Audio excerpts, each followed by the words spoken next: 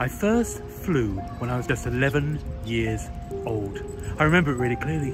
I was getting really angry because Billy Watkins kept me dead arms in PE and I just sort of rose up. And before I know it, I was straight through the gym roof and then I was in the open blue sky looking down at Stevenage, which looked so small and fragile, like a, a model village.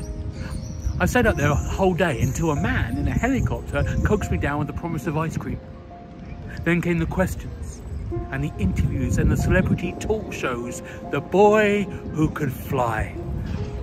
I had a publicist, I had a style guru, and I had someone who literally would open doors for me. I had a book that was ghostwritten for me, that was a number one bestseller. I had a film that was a huge hit on Netflix.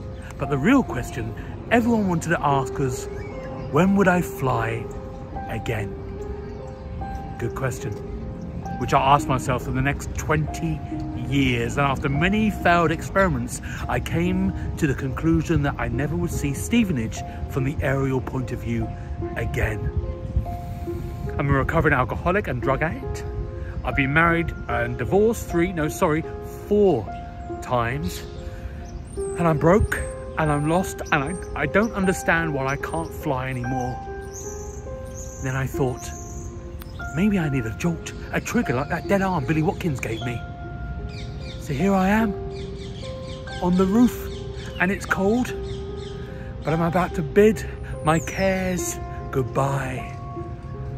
I can fly. I can fly. I can fly.